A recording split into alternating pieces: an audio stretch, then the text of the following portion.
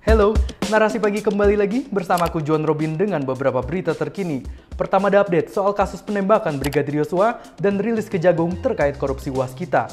Gak kelupaan ada juga Wuhan yang kembali lockdown karena COVID-19 dan Rusia yang akan cabut dari stasiun luar angkasa internasional. Ini dia selengkapnya.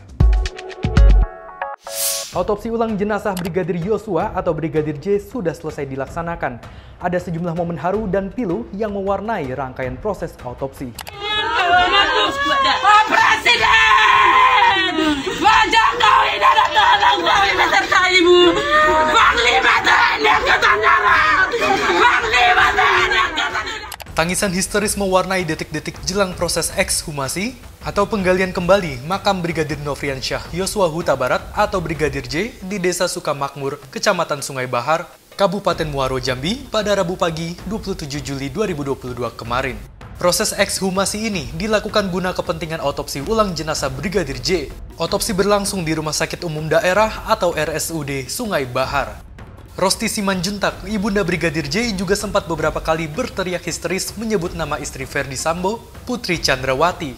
Ia terdengar menuntut tanggung jawab dari istri mantan Kadif Propam itu. Sejak mana Bu Putri? Mana tanggung jawab Bu Putri? Mana? Kebohongan jadinya. Kebohongan semua. Kamu punya anak ibu. Kamu seorang ibu. Mana naluri ibu seorang ibu? Bu Putri Chandrawati. Mana naluri ibu seorang ibu? Mana perlindungan ibu anak? Autopsi ulang ini dipimpin oleh Kepala Departemen Forensik Rumah Sakit Cipto Mangunkusumo RSCM Ade Firmansyah Sugiharto dan melibatkan sejumlah dokter forensik dari berbagai rumah sakit dan universitas. Proses autopsi ulang berjalan tertutup. Mulanya, polisi memperbolehkan pihak keluarga melihat jalannya autopsi melalui CCTV. Namun hal itu dibatalkan dengan alasan kode etik dari pihak dokter. Kesepakatan pun diraih dengan hanya satu anggota keluarga yang berasal dari kalangan medis saja yang diizinkan melihat langsung proses autopsi. Nantinya, hasil autopsi ulang akan dibuka di pengadilan dan jadi bukti tambahan bagi penyidik yang menangani dugaan pembunuhan berencana terhadap Brigadir Yosua. Pada malam sebelum pembongkaran makam dan autopsi ulang dilakukan, Koordinator Kuasa Hukum Keluarga Brigadir Yosua sempat melakukan rapat bersama dengan tim dokter forensik. Mereka mengajukan sejumlah hal, di antaranya meminta dokter forensik untuk memperhatikan beberapa bagian tubuh khusus Brigadir Yosua, yakni rahang, gigi, tenggorokan, bagian kemaluan, hingga dubur. Otopsi ulang berjalan dengan lancar dan selesai dilakukan pada Rabu siang. Jenazah Brigadir J pun kembali dimasukkan ke dalam peti dan dimakamkan secara kedinasan.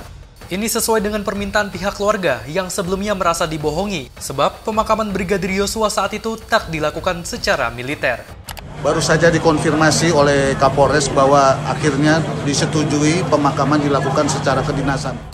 Rangkaian proses ekshumasi dan otopsi ulang ini juga diawasi langsung oleh Komisi Hak Asasi Manusia atau Komnas HAM yang sejak awal memastikan bekerja secara independen mengusut kasus kematian Brigadir J. Teranyar, penyelidikan Komnas HAM menemukan jika Brigadir Yosua tidak meninggal di perjalanan antara Magelang dan Jakarta seperti yang selama ini dikabarkan. Ini disampaikan Koirul Anam, Komisioner Komnas HAM, merujuk pada momen para Ed Dekem atau Ajudan Kadif Propam Polri nonaktif Irjen Verdi Sambo yang masih bercengkrama dan tertawa bersama Brigadir Yosua beberapa saat sebelum dirinya tewas. Kini Komnas HAM tengah mengagendakan pemeriksaan terhadap tim digital forensik dan cyber Polri. Salah satu yang akan didalami adalah soal isi telepon genggam milik Brigadir Yosua termasuk CCTV yang ditemukan di sekitar lokasi kejadian, yakni di kawasan Duren 3, Pancoran, Jakarta Selatan. Proses otopsi ulang udah dijalanin, kita tunggu aja hasilnya di pengadilan. Semoga keluarga Brigadir Yosua mendapat keadilan. Jaksa Agung baru aja ungkap korupsi waskita beton Prikes yang merugikan negara 2,5 triliun rupiah. Waduh. Bahwa PT Waskita Beton Perkas ini sudah TBK juga pada tahun 2016-2020 telah melakukan perbuatan melawan hukum atau menyalahgunakan wewenangnya dengan melakukan pengadaan fiktif. Ini fiktif teman-teman. Pengadaan barang tidak dapat dimanfaatkan atau tidak bisa dimanfaatkan, beberapa pengadaan tidak dapat ditindaklanjuti. Artinya mangkrak. Atas perbuatan tersebut menimbulkan kerugian keuangan negara 2,5 triliun dan ini masih akan terus berkembang. Jaksa Agung ST Burhanuddin juga menyebut telah menetapkan empat orang tersangka atas kasus ini. Mereka diduga telah melakukan korupsi dengan menyelewengkan dana di salah satu anak perusahaan PT Waskita Karya Persero Tbk, PT Waskita Beton Precast Tbk, mulai dari tahun 2016 sampai 2020. Para tersangka tersebut ialah Direktur Pemasaran PT Waskita Beton Precast Tbk periode 2016 sampai 2020, Agus Wantoro. General Manager Pemasaran periode 2016 sampai Agustus 2020, Agus Prihatmono. Staf ahli pemasaran PT Waskita Beton Precast, Beni Prastowo, dan pensiunan karyawan PT Waskita Beton Precast Tbk, Anu Grianto. Mereka akan ditahan selama 20 hari ke depan, terhitung sejak tanggal 26 Juli hingga 14 Agustus 2022. Adapun tersangka Agus Wantoro dan Beni Prastowo ditahan di Rutan Salemba, cabang Kejaksaan Agung.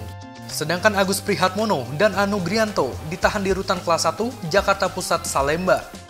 Para tersangka disangkakan melanggar pasal 2 ayat 1, pasal 3 Jungto pasal 18, Undang-Undang nomor 31 tahun 1999, Jungto Undang-Undang nomor 20 tahun 2001, tentang pemberantasan tindak pidana korupsi, Jungto pasal 55 ayat 1 ke 1 KUHP.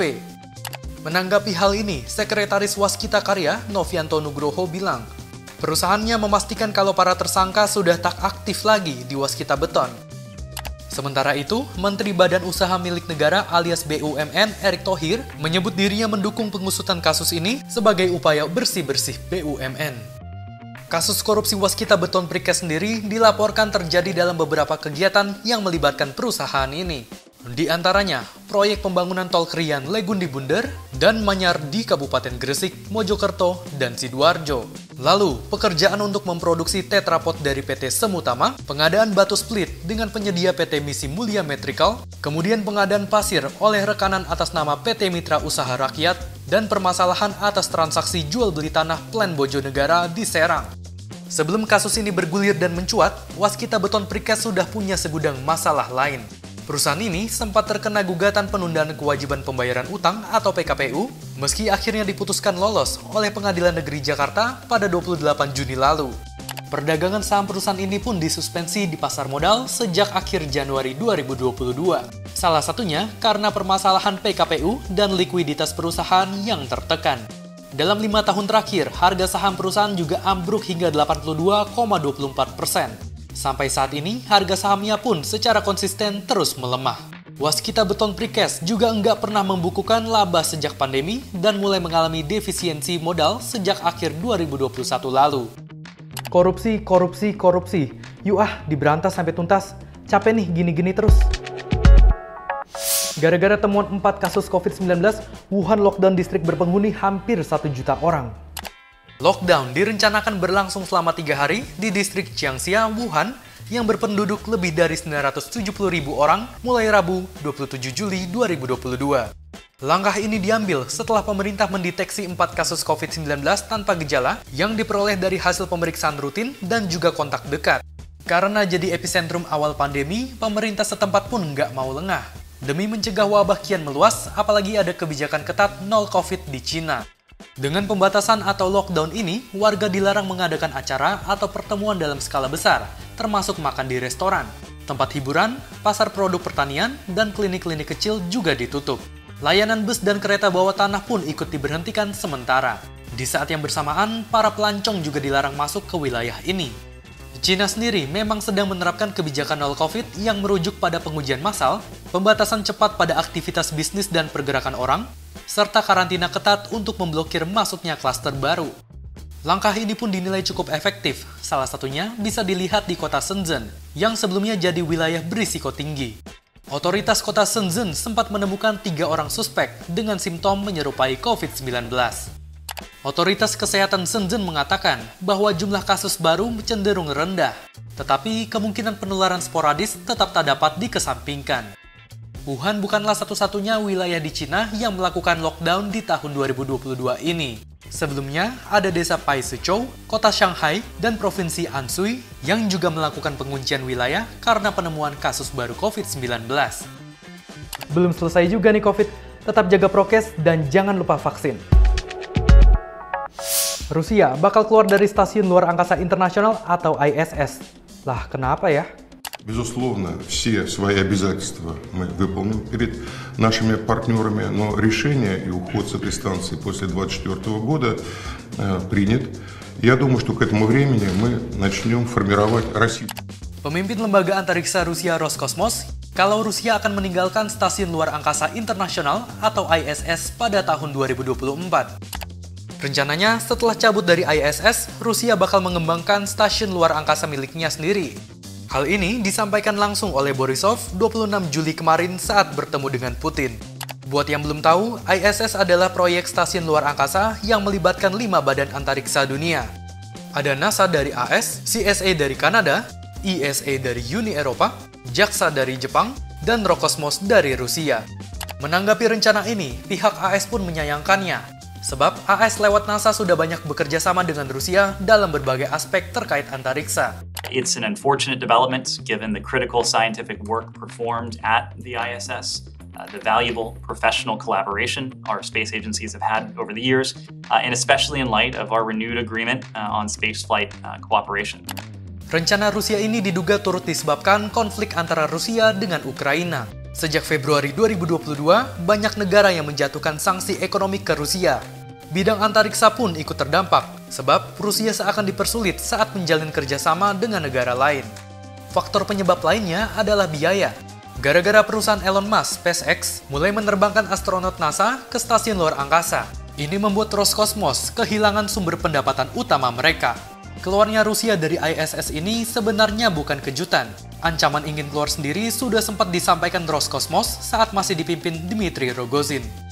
Kontrak keanggotaan Roskosmos juga memang bakal berakhir pada 2024 mendatang. NASA sendiri sudah mengetahui wacana ini, namun mereka masih menunggu pernyataan resmi dari Roskosmos kepada NASA. Per 27 Juli 2022, baru NASA saja yang memberikan tanggapan. Sedangkan anggota ISS lainnya seperti JAXA, CSA, dan ESA belum memberi keterangan. Apa pun keputusannya, semoga itu yang terbaik deh. Dan gak lupa kita harus terus doain agar konflik Rusia-Ukraina bisa cepat beres. Itu dia empat sarapan informasi kita hari ini. Narasi pagi akan kembali lagi besok pukul 8 waktu Indonesia Barat live di Instagram Naras Newsroom dan Mata Najwa. Sehat semangat terus semuanya. Bye-bye.